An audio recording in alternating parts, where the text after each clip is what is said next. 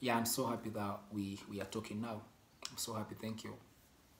No, I was not trying to avoid you. I just had a lot of things going going on in my life. I was working, and uh, actually, I spent much of my time in in studios because I was trying to work on my new album. I was trying to do final stages on it. Yeah, so I was not trying to avoid you. Yeah. Uh, about my latest single called "Follow Your Heart" is uh, it's a song that I, I did. It's about life. It's about you know life, things that happen in our day-to-day life. Following your heart, making a decision, making a choice in life is something that we always do. Maybe not today, but maybe one day you have to make a choice. You have to make a decision. You have to choose between two things. So, and basically, when it comes to two, when it comes to making choices, we always have to listen to the, you know, to ourselves, to the inner self, to the inner person in us. You know, that guy that lives in me. So, yeah, the song was about, you know, just following your heart. You followed your heart. You called me. I followed my heart. I accepted to talk to you, and here we are. Yeah. Um. Uh, no, the song is not about. It's not actually a true story. It's not about anything. It's just about you know. It's not about me. It's not about anything. It's not based on a true story actually. Though it may be based on a true story in situations people like in situations or in times whereby it has happened to someone whereby you have to make a choice. So it's a true story actually. Like day to day, every day, people have to make choices. Look, next year people will be voting down in Uganda.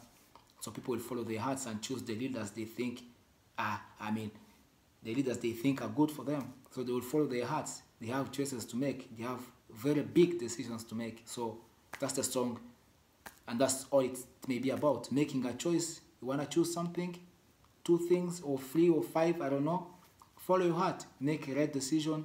Choose wisely. That's it. Follow your heart.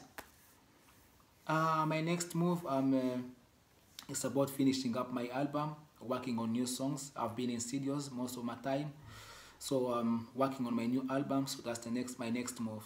I want to finish it up and have some, you know, yeah, just music. About my fans, um, just want to tell them to be strong. Uh, I know it's really hard times now. Corona time, it's too hard not only for them even myself i really find sometimes you know trying to find it hard to adapt on the new kind of life we are trying to live now but i tell them to be strong and keep their keep their head high maybe now we are not good maybe after one week or after some time stuff will be good so it's just a matter of time we just you know they have to be strong and keep keep their hopes you know that's what i can tell them and about music, we have a lot of good music coming from Vitamin and Unik. A lot of good music. So at least we shall not gonna let we shan't we shan't let them down. We shall not let them down when it comes to music. We shall give them the best music ever. Yes. Yeah, thank you so much. A big up on yourself. Yeah man.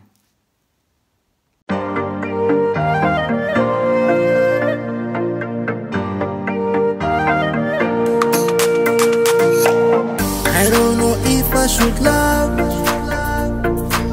Maybe it's better not to.